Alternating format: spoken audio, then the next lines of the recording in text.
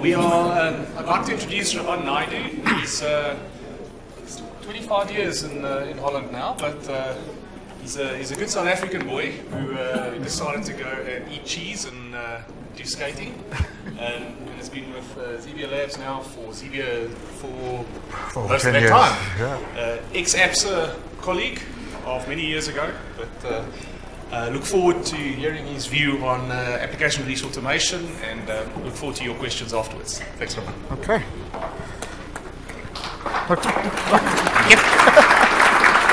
Okay, uh, let's get started then. Uh, so today I'm going to talk to you about uh, continu- continuous delivery at scale and how you can use the Xebia Labs platform to actually join the dots in your entire DevOps process. So for those of you that don't know uh, Xebia Labs, Xebia Labs has been involved in the DevOps space since the early start, and we only concentrate on DevOps and continuous delivery tooling. Our client base is from all walks of life. We've got people from in, in, in industries like uh, finance, manufacturing, retail, etc. We've also been uh, regarded as leaders by uh, Gartner and Forrester when it comes to RO, uh, RO software. So, how come do customers come to us? So, our customers always come to us because they're looking to scale out their continuous integration, the automation that they've got, and they try to bring it to a wider audience within their organization and try to improve their security and governance at the same time. So when you look at the IT world and how the IT world has evolved over the past 20 years, we've seen that methodologies have changed all the way from waterfall to DevOps. We've got uh, application architectures, looked at n-tier, SOA, microservices, etc. And the way that these applications are packaged today, taken a whole new form with cloud and containers. Besides the IT world changing, data is the new oil. And you see that also becoming more and more important in your DevOps process, in your CD process. So with this evolution of changes in the IT world, legacy, cloud, container, as each organization tries to implement CD, they tend to go through the same pattern because with each evolution of the technology, they tend to start at the bottom that concentrates on automation, speed, efficiency. And these tend to start off with small projects at the company trying out the technology, so for cloud container. And then as they get that right, then they start looking towards the enterprise requirements. And the enterprise requirements is like your compliancy, uh, processes, etc. And once they've got that right, then eventually they start looking at okay, how can I elevate this up to management, to business? And business cares about uh, your visibility, your analytics, and basically your risk, etc. So, with the evolution of IT, with the technologies, we tend to see this occurring over and over again. One of the things when you're looking at scaling CD in your organization, it also has to do with the persona, the skill set. Although you have a Java developer, there's different skills involved for each type of person. And the same will go for modern day DevOps practices with your cloud native developer, your DevOps engineers, and your SREs. So the idea is how can we bring in automation in such a fashion that we can appeal to the novice as well as the expert users. And that gives you scale in the organization by appealing to all of those different groups. The Xebia DevOps platform, as I've said, we've been busy with this for over 10 years. And with these recurring patterns, we basically created tooling around that to cater for this changing world without actually worrying about the technology that's behind it. So we start off with uh, XL Deploy that concentrated on deployment orchestration, solving the deployment orchestration problem immaterial of technology.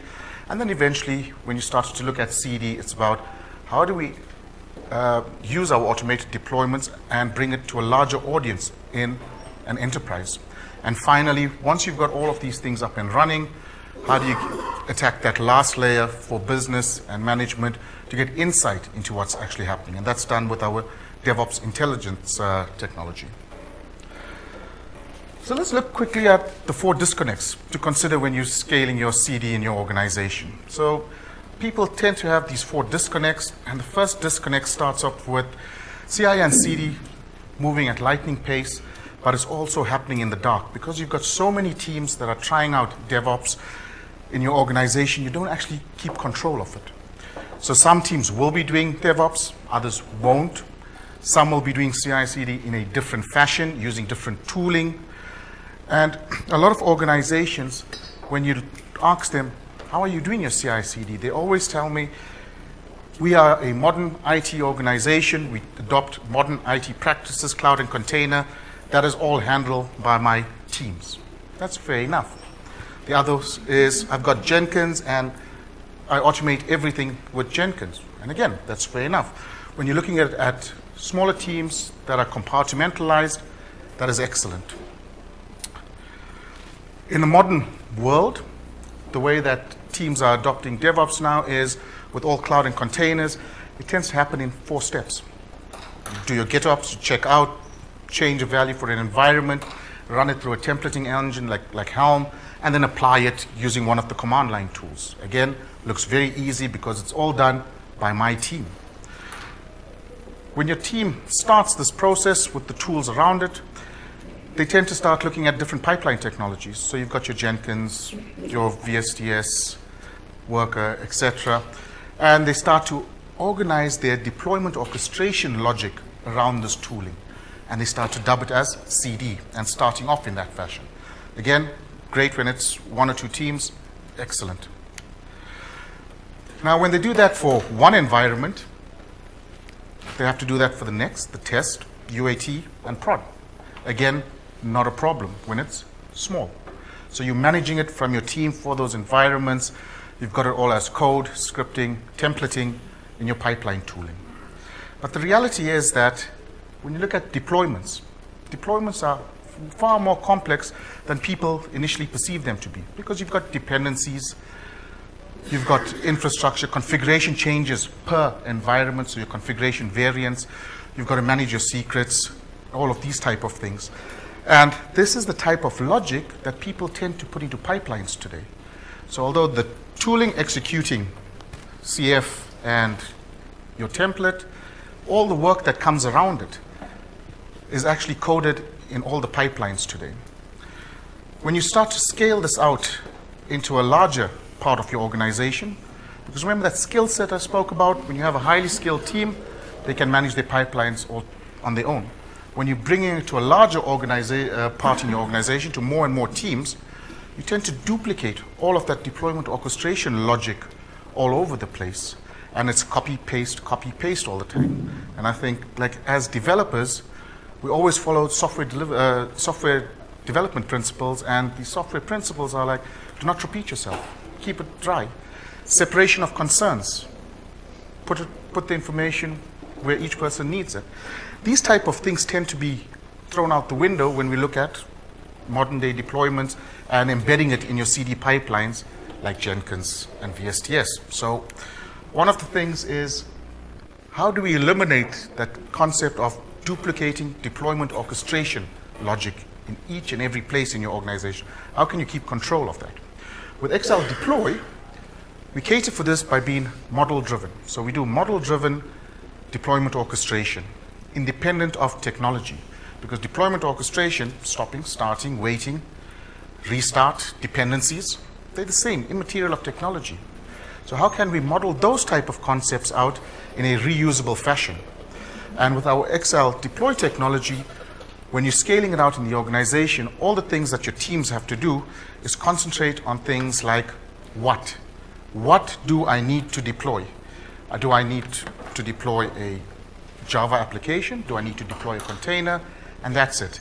They shouldn't have to care about where am I deploying it. Am I deploying it to test, prod? Doesn't care. Is it on the cloud? Is it on-prem? They shouldn't care about the where part. When should it happen? You shouldn't care about when. Should this happen in parallel, sequential? Again, those things that are things that your deployment tool should actually take care of for you. And finally, the how. Because to eliminate repetitiveness, the, the, your uh, copy paste uh, habits, the how should actually be done by your deployment orchestration tool. So in a simple demo, what I'm going to do is I'm going to use uh, Red Hat OpenShift to show you a cloud uh, uh, container platform incorporated with legacy type of deployment. So JBoss running on a VM and a traditional SQL Postgres that's also running on a JVM somewhere. So this follows the microservices pattern, and it's got about six services that all need to be orchestrated together in order to actually install the application on this hybrid type of environment. So if we go and have a look at the tool to actually see how we do this, um, we'll switch over. So all of this is live demo, so I hope nothing's going to get messed up. But to start off with, centralizing deployment orchestration, immaterial of technology. It starts off with these questions of the what. What needs to happen first of all? So as a SRE or a DevOps engineer, I have environments and infrastructure that I have to deploy to. I could be deploying to OpenShift cluster on my uh, local uh, environment, or it could, could be in Azure or AWS. So the way that we do that is we capture infrastructure in our infrastructure part of our model, and the model is fairly simple in the sense that we give you a catalog of types of technologies that you can deploy to. From this catalog, we tell you things like, okay, I'm going to deploy to the cloud. I'm going to deploy to WebSphere, whatever the case is. It really doesn't matter. You pick the type. And once you've got the type, you tell the system basic information about connectivity. So for instance, I've got an OpenShift cluster. Where does it live? What is my uh, tokens, etc. And the system registers this, the what. What should happen here?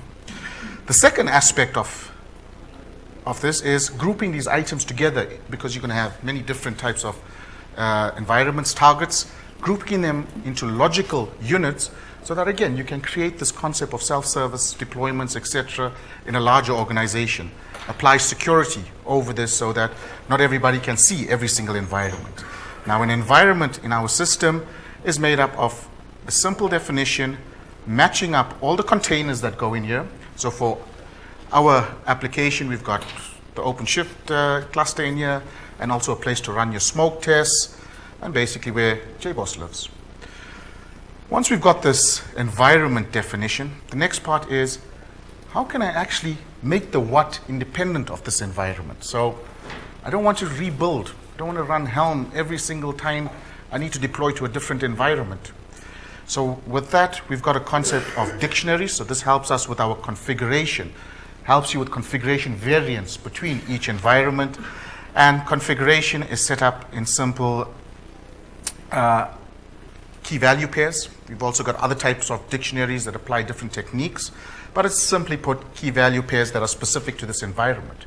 So when you're scaling out to another environment, for instance, you don't have to care about the composition. You can just copy the dictionary, make changes to the dictionary, and then manage the configuration.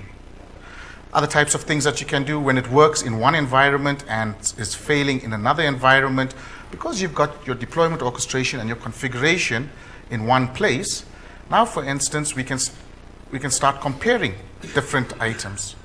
So different items, comparing it to my QA, prod, etc. So it again helps you with understanding your configuration variance across your different uh, environments. And once we've sorted out configuration, the final part is how do we scale this out to our developers, to the rest of our teams? And that, con- that concept is actually built into applications. Applications are made up of many, many different types of applications. These are actually deployment units, if you'd like. A deployment unit has got a version, can have many different versions.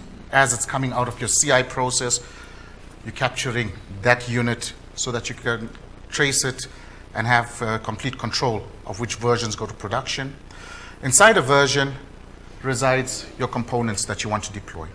Now, the components that you deploy immaterial of technology, the system offers you a catalog of all the different types of technologies. This is a plugin based uh, system.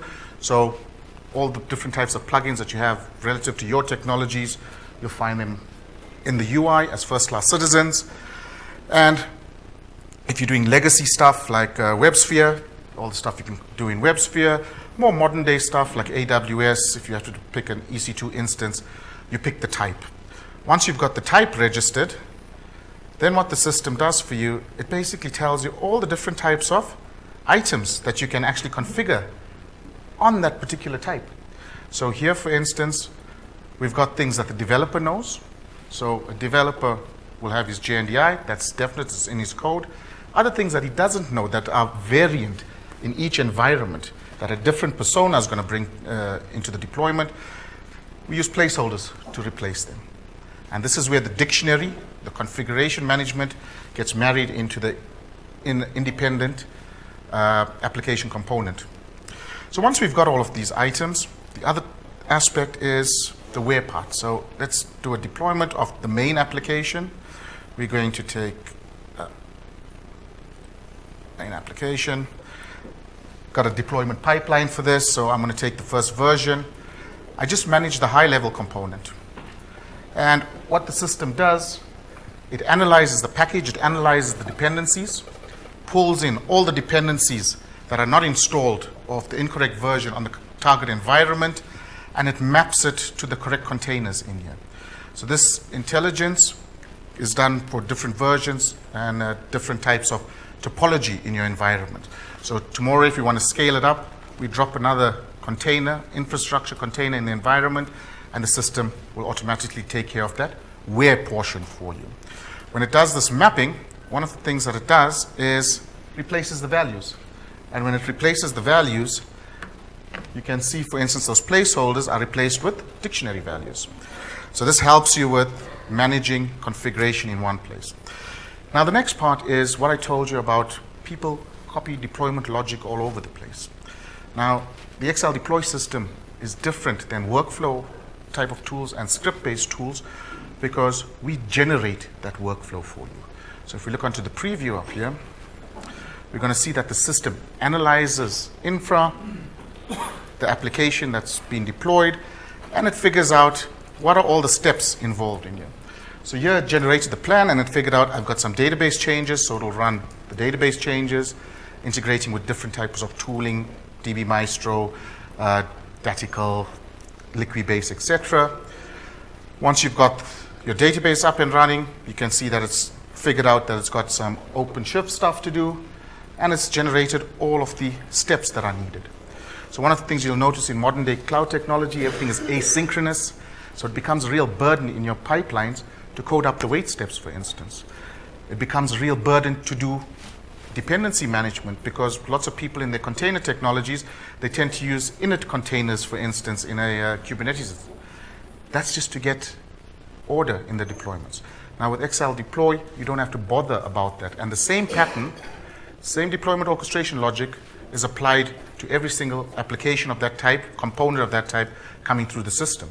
So this is based on a rules-based system, and to understand what the system is doing, you can drill down and the system will tell you which rule it used, what's the type of scripts that it's going to generate to actually perform the deployment.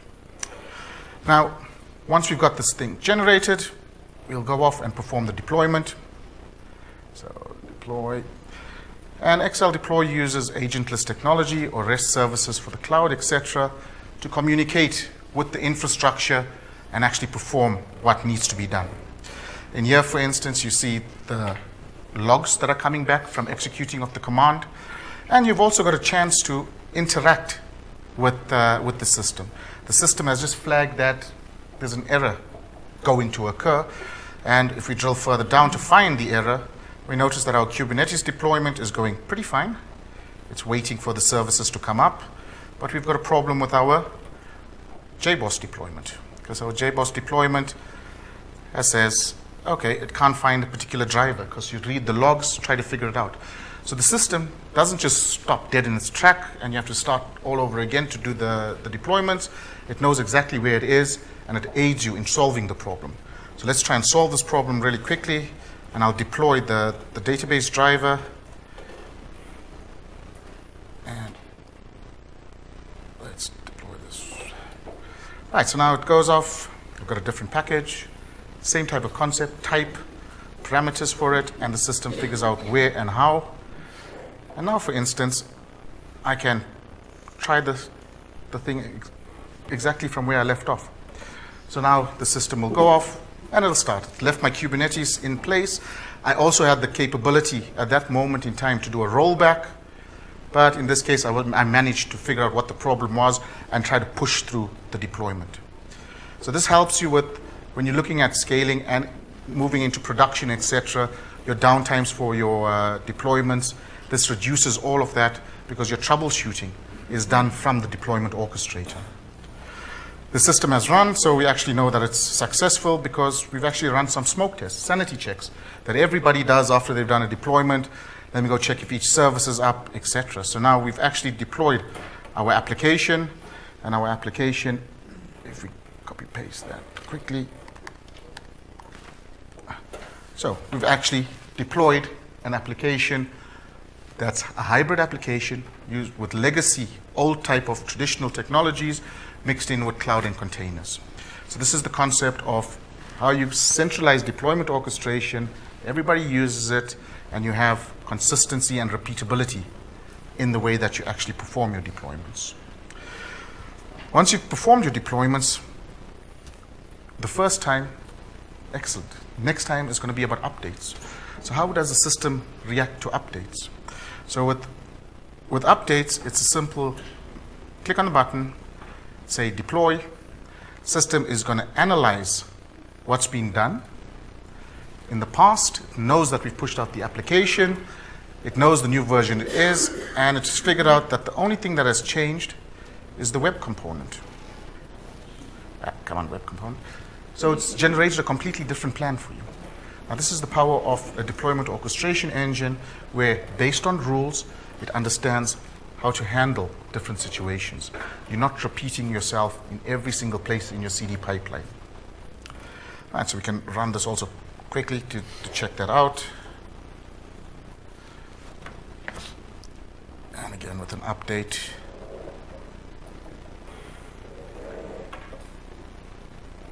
Okay, I'm not going to wait for this, but you get the idea up here. So simple deployments. When you actually need to perform um, rollbacks again, you can use the rollback button to actually perform that for you. So moving back, that's the deployment orchestration and how you can solve a lot of your problems by using a deployment orchestration engine. So we didn't copy anything, we just did definitions, and the system took care of how, where, and when. When we continue with the look at the disconnects, once you've got deployment orchestration sorted out, you look at your pipelines. And in an organization, in an enterprise, you've got many, many different disciplines development, your IT organization, your business, and everybody tends to use different tools. And all the different types of tools that you're using, you're not going to throw out of your organization because I am a modern IT cloud type of team. You still need all of these processes and things in place because they are just good practices. And all the different types of tooling that you get, you're not going to get people to leave those tools to come into the command line, for instance, to go into Jenkins to do all of their stuff. So you need a way to actually address all of these different types of personas, all of their different needs and bring them into the CD pipeline. Second, uh, third one is the lack of uh, security and operations, actually, because when you're looking at your teams again, you've got many developers, few security specialists, and few operation specialists that know how to actually run a Kubernetes cluster, know how to add new nodes, etc. So you're always going to have this different number of people in there. Besides the different number of people, you're also going to have different skill sets. So when you're doing your CD, how can you apply policies, security techniques, etc., that appeal to the novice as well as the expert in your development teams, in your DevOps teams? So getting security as a first-class citizen in this process and make it repeatable. The last disconnect, if you think about it, is about the business process itself. Everything starts off with a feature, a feature moves on to the development team, and then as you move further down the release process, you start to get people that are less technically involved. But you still need to bring them into this process. So you need to connect those different disciplines. As you move to production, your ITSM practices, you also need to bring them in. Doesn't mean to say with DevOps that ITSM is all of a sudden a bad thing. It's there for stability and change. And again, when you're looking at enterprises, it's also about auditing. How do you manage all of those audits, etc. Sorry, I'm just keeping a look at the time every single time. Okay. So, to tackle that type of uh, problem, the pipeline problem, where you have to look at all of these different disciplines, and each discipline is going to need a different type of pipeline to help them automate their workload. You can't expect your ITSM person, if he needs to do some automation, to go all the way back down into code, into Jenkins to do all of that stuff. That's kind of yeah, counterproductive for him, and that's why he'll never ever join your CD process. So with uh, Xebia Labs uh, XL release, we try to, again, to model out a process for a certain persona and automate that through reusability. So we don't copy, we model again. So if we go into uh, demo mode again, let's go into this concept of XL release and what it does.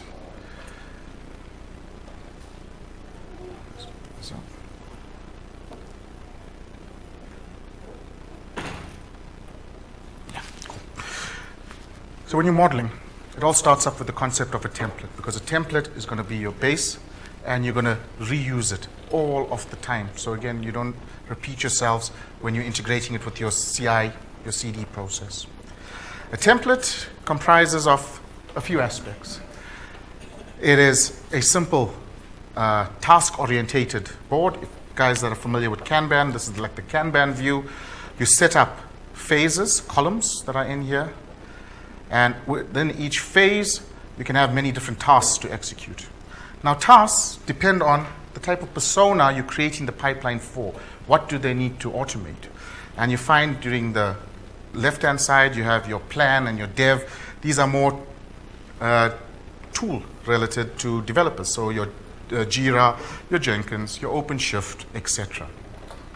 So you can map out all of these different items that need to take place. They can start off as manual steps, or you can actually later on change them into more specific automated steps. Just like with XL Deploy, you get a catalog to choose from, and you can also add to this catalog of the type of thing that you want to do. So, for instance, if you want to do something like Delphix, so Delphix is about uh, data virtualization. If we need to spin up a database before we start our test, it's a matter of simply finding the task that we want to perform, provision database,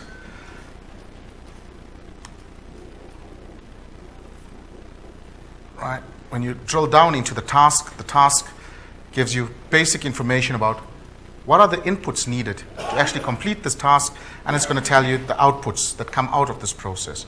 So this is consumable from anyone. If you know how those technologies work, you don't have to know the underlying APIs to make it work. So simple input output, and you string your tasks together. And this is how we build up a complete pipeline, a complete plan. Now, as you move towards production, you'll notice things that become more ITSM related. You can incorporate your ITSM process in there, and in between, you can also do like your static code analysis, your dynamic code analysis, etc. So, if, so if we see this executing, because in reality, because of reusability, nobody creates one big pipeline as you've seen there. They break it up and try to to go to get to the needs of the persona that's going to use that particular uh, technology, or sorry, that particular pipeline. So in this example, we can take that same cool store app that we just deployed. Oh, sorry, I should have showed you one more thing. Okay, I'll come back to it later. But one of the things you'll notice in these pipelines that I'm going to show you, they are devoid of low-level deployment orchestration logic. Because from a XL uh, deploy perspective, uh, sorry, from a XL release perspective, you are generating your deployment orchestration. So the only thing that you need to incorporate into your pipeline is a high level abstraction. For instance, I need to deploy this version onto this environment. End of story when you're looking at it from a pipeline perspective. Remember your configuration variants, the generation of your uh, to your specific, specific infrastructure is all done by the automated generated deployment engine. So this simplifies your, uh, your pipelines immensely and makes them highly reusable. Because now using placeholders and variables, we can change the name, for instance, versions of things that we need to, to push out so that the same team or different teams can use the same pipeline to push through the technology. So let's get back to our business release. So if you take if you take the product owner as an example. So Trey does a lot of his work in Jira. So he's used to this type of world where he sees all of these items and things happen with them, but he only can track them from what's inside Jira. The work that he actually has to do with each one of these things, he has to monitor like, okay, is my feature complete? Is only when all my user stories are complete. How do I close out my user story? It's a little more work than actually a developer saying done on an issue because there's lots of works that come after that. So, for instance, maybe checking your compliance, you're doing acceptance testing, whatever the case is. And then only when it's passed through that part, then is the feature actually complete or the user story. Another important part is traceability, auditability. So you start to create, you need to create a chain of custody. How can I track a feature from the time it was created all the way that it went to production? How do I manage that? So these are the type of pipelines that can do a lot of bookkeeping for you in order to keep all of these different personas and all the work that they do in sync.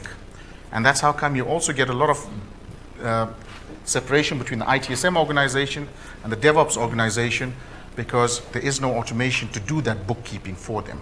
And that's why you forget to do that. So if you've got your plan and your user stories, etc., and once all of those stories are finished, what do I do to close off this release? Releasing to your customer, creating release notes, all of these type of things. So let's have a look at these templates. Remember, we've just got three templates that we're going to try to use. Uh, cool store. So we've got this cool store release that's sitting in uh, Jira. We're going to use our templates, our pipeline templates, our delivery templates, if you'd like, to actually go out to Jira, look at Jira, figure out what are the features attached to this release, figure out all the stories that are attached to those uh, epics, and try to figure out things from there. So now the system has went off, looked at Jira, and it's actually found seven items. We can look at these things from a Kanban board, but we can also look at it from a Excel spreadsheet form. Helps you better with filtering, etc. So these are the stories that it found. But what will really help us is actually if we can get a better visualization of this, because this is all about connected pipelines, not about single pipelines. So if we look at our connected pipelines, we can switch over to our relationships view. Uh, hide templates. I hate this resolution. Okay, okay, I'll fix this up in a bit. But uh, let's spread that out. Okay. so in any case, up here you get a little visualization about the stories that are active and basically the stories that are active. If we drill down into each one of these items, we have the capability to look at the pipeline that's actually tracking these items. You can see that it's done the bookkeeping for us, for instance, and it's waiting for a CD pipeline to actually deliver one of these components that are going through.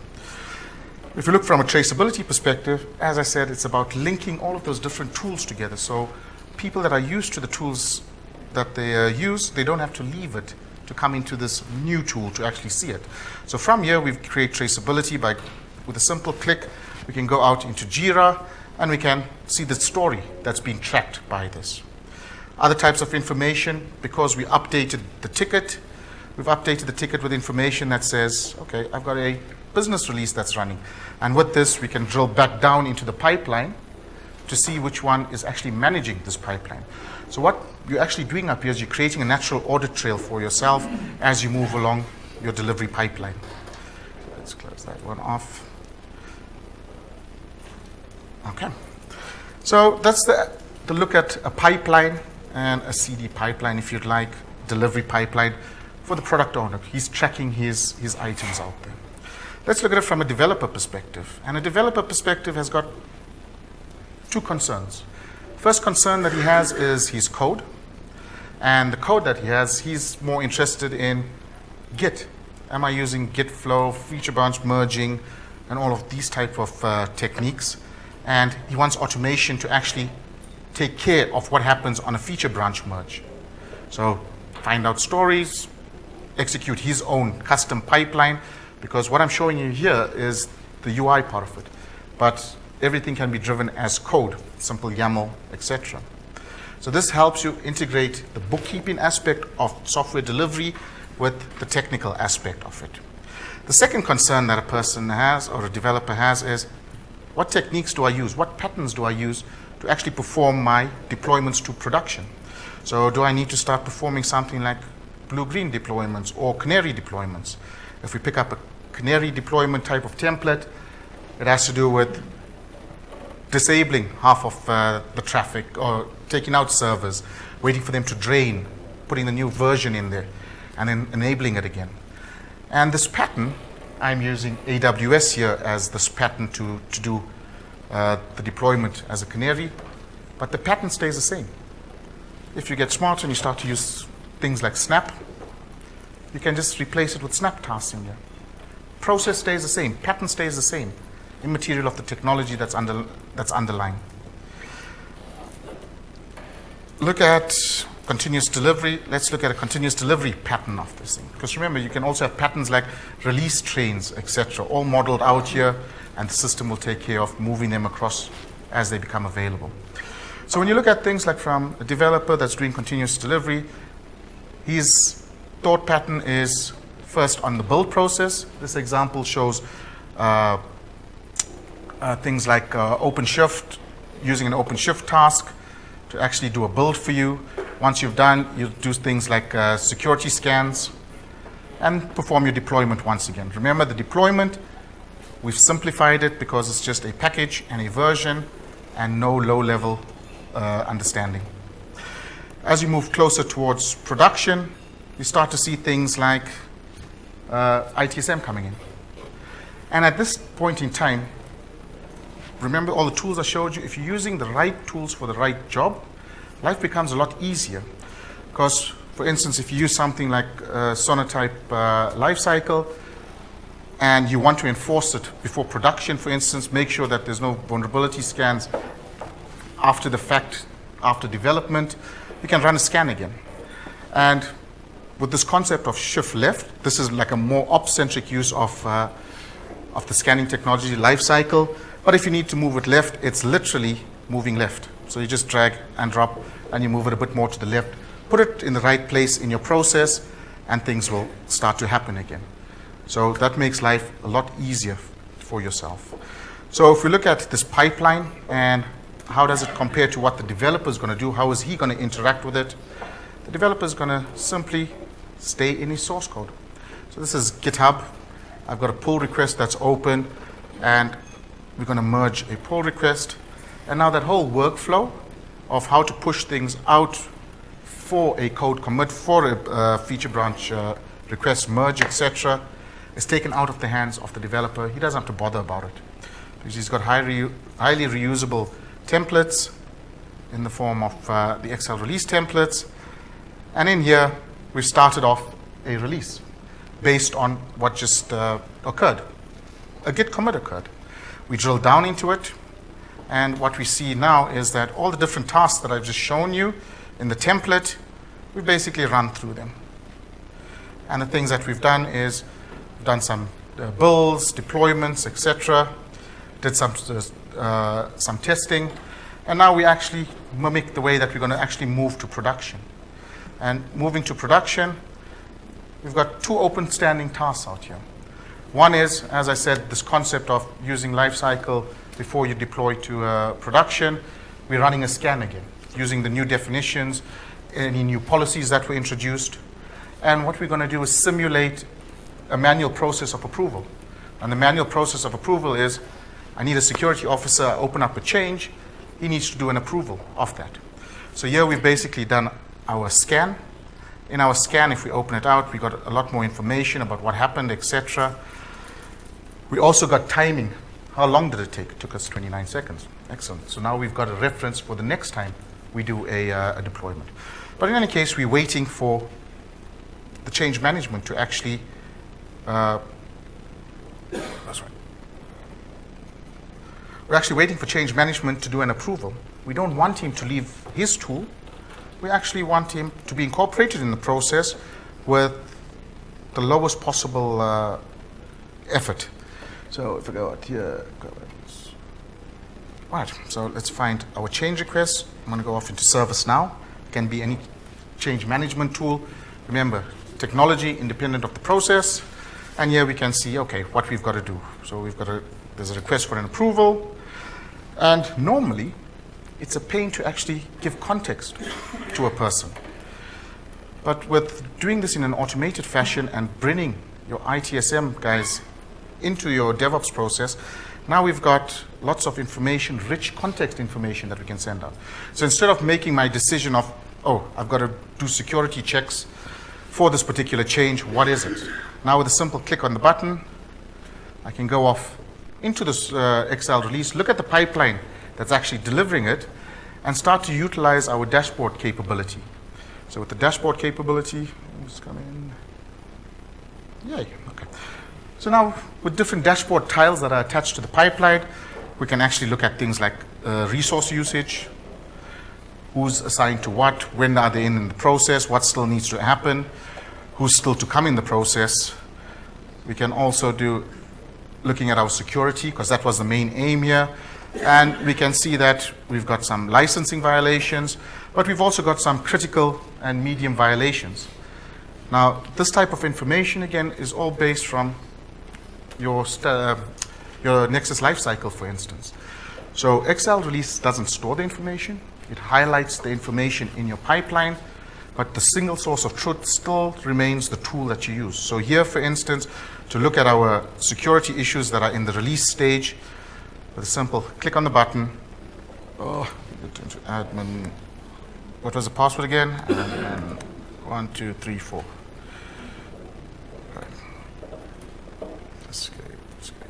Right, so with a simple click on the button now, as a change manager, I manage to see the pipeline, look at its context, click through again, go to the single source of truth, your Nexus lifecycle, look at the policies, look at what's been violated, drill down, get a richer experience of that uh, information within the DevOps pipeline. And after this, he can make his decision of, okay, you know what, I think it's fine. So what he's going to do is go in and close here. And he's going to say, okay, you know what? I've seen the security risk. I know it. I'm going to take responsibility for it, and I'm going to approve it. So six months, seven months down the line, when your auditors come in and your auditors ask you, why did you put a application that had vulnerabilities in it into production, you've got complete traceability of this, uh, of this item, and everybody, four-eyes principle, has approved it. And if you go back into XL release, we see that after a little while, our process has moved on. So it's moved on, close the change ticket, and that's the end of actually delivering your software to production. From a product owner perspective, if anybody ever asks him, hey, you guys have been working on Cool, cool 7, where is that feature? How, how was it this thing? I see things are done in Jira, but where is it in the process? So let's go back and try to find our uh, business release. Drill back down here, and we'll go to that relationships. All right, so uh, uh, uh, uh, I hate my mouse. Okay. Come on. Why is it doing this to me? Reset. Okay, yeah, okay, this is good, good enough for now. Okay, so in here, basically, if it was a better view, you see that it's the delivery pipeline, the technical release is linked back up to your business process. We can drill down again from an audit perspective, look exactly at what stories we found for that particular commit, and we've propagated it to all the different places. Other important things that you can get out of this process is if I've got a feature that's complete, I can actually start to look at things like richer type of uh, documentation I publish. For instance, in this particular example, after the feature was completed, we actually published a knowledge-based article into ServiceNow, into the ServiceNow portal. And because you've got the richest information during your pipeline execution, now you can start to do things like I've released it, I've got the XL pipeline that delivered it, I've got the feature that delivered it, and all the stories that were attached to it. So that's basically how you do these type of things and track it from a enterprise scale doing delivery. Right, so that's going back to the slides. So now that we've shown you software delivery pipelines for many different people, not only the techies, the benefits that you get from the Xebia Labs platform is that it brings all of these different disciplines all together using a model-based approach so you do not repeat yourself and this is the key to scaling in an organization when you use the XL DevOps platform. So that's it and I open the floor for any questions.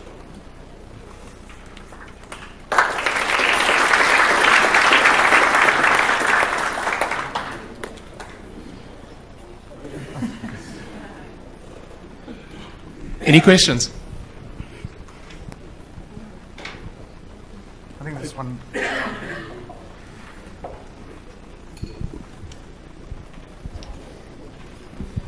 Uh, hi. Uh, so yeah, it looks like magic, but uh, how many large enterprises are using your platform currently? I'd just be interested in having a view. Well, uh, let's see. ABN AMRO is one, this thing. A large, large bank. We've got uh, Rabobank in the States. Let's give you like Amex, for instance. Amex runs all of the stuff. Uh, e- Net, Nedbank. Uh, EA Sports. Do you, do you play FIFA?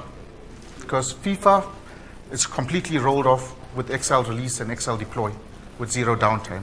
So whenever you play in the game, remember XL releases. it is actually doing that for you. And you've got guys like uh, Apple, NASA. So many different walks of life that actually utilize the, the product. Great, thanks. Is it possible for you to give us a high level view of your licensing model? High level view of license model, I always look to Barry for that. I'm the tech guy, I don't sell stuff. The net net is that it works off a user-based license, so um, annual subscription, um, like most of the stuff we do these days, uh, works off a user-based license. So you'll define the number of users that will utilize the release and the, and, and, and, uh, and the deployed product. Um, but we can delve into it uh, a little bit more if you want um, at a later stage. But it's, uh, yeah, it's, it's based on a per user-based license.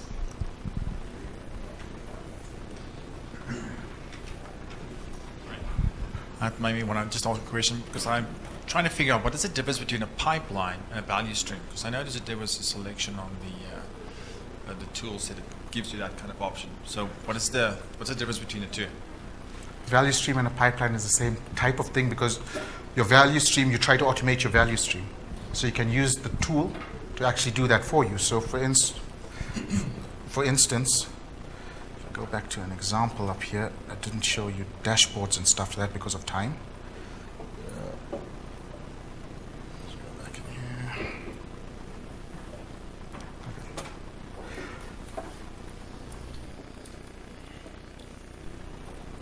Ah, I'm having problems with my resolution, but okay, it doesn't matter. I'll try and explain. So, value stream mapping is what is the value that you're trying to deliver? And today, people can capture that in different types of uh, tooling, but they're not automated. Up here, because we've got pipelines for everyone, you can actually automate that value stream and also try to include it to drive other types of uh, processes in the pipeline, technical or non technical. Because it's coming out from one place, you start to create this end to end traceability. And that's actually going to show you a value stream. Other types of things that you're doing is even if everything in the system is manual, you start tracking times, for instance. And you can start to identify bottlenecks and try to solve those type of problems. If you notice in, um, in your system, if uh, the, the longest running task, for instance, you need to focus on that. So that helps you to actually get concrete information about, dear business, to get more value out of this, I need more budget to tackle my non-automated performance testing, something like that. So that's the, the mix that you can get. Again, story is pipelines for everyone. And I think also uh, on the task level, you can set up SLAs. So if a task runs over a certain time, we can escalate that. um, building the dashboards, um, if you're using the stick, the wall of shame, uh, if you're using the carrot, the or merit wall, rockstar wall, whatever case, uh, whatever the cases you want to call it, um, are all possibilities to, to actually visualize the, uh, uh, the value of what the various agile teams bring to the party. And exactly, that's the release value stream mapping. It's the one that we just ran. We notice how this thing it tracks how many failures, etc. And based on that information as well, it's, it has the capability of spitting out risk for you. So it'll allocate risk scores to certain things to get your focus on this. Any more questions? One more down there.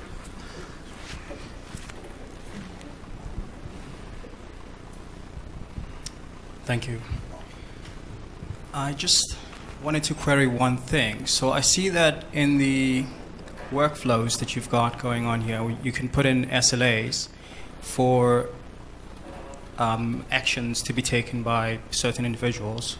Of particular interest is that of the security officer, where you may have vulnerabilities that uh, may not be resolvable at the point in time where the review takes place. And we have a lot of cases in business, uh, due to whatever reasons uh, there may be, where some of those tasks may require tracking uh, over a, a, period of time, perhaps uh, conditional approvals, and those kinds of things, where once an action has been marked off as approved, uh, we still need to kind of revisit that uh, task on a fairly regular basis. How would we deal with that kind of condition okay. uh, using XL? So when you in, uh, interacting with tasks, you have the capability of uh, let's look at the task directly. When you drill down into a task, you have the ability to complete it, skip it, or fail it. Right? Once you've skipped, failed, whatever, you've also got in the task a concept of a precondition. So, for instance, I could say that if I've skipped this task or I've marked it as uh, it's okay for now kind of thing, then in the next part in my pipeline, I would have a separate section that says, what do I need to do with this? Because you mentioned I need to track it from now onward. So how do you track it now? What's your single source of truth? Is your Jira the single source of truth or is your ServiceNow? Do you open an incident or do you open up a ticket? So then you'll create that ticket and then you'll start tracking it in that way. So from the pipeline perspective, you've always got that capability of putting in any of the logic that you need to handle that situation. And other types of things to track these uh, type of tasks, you can also with the reporting system. If you tag it, etc., the one that I just showed you with the um, uh, value stream, you can start tracking how is that task behaving over multiple releases. And using, uh, we've also got a um, uh, prediction, uh, risk prediction uh, engine that's attached to this that also analyzes those things and it tells you that, hey, you don't have to track it anymore. It'll tell you over time that we see that in this, this particular task is being skipped every time or it's failing at a high rate. You may need to look at it and it gives you a recommendation. So those are all possibilities within the system. Okay? Cool. Thanks. Cool. Guys, in the interest of time, I am going to close out questions for Ravan. He's going to be around, so corner him if you want over one of the breaks.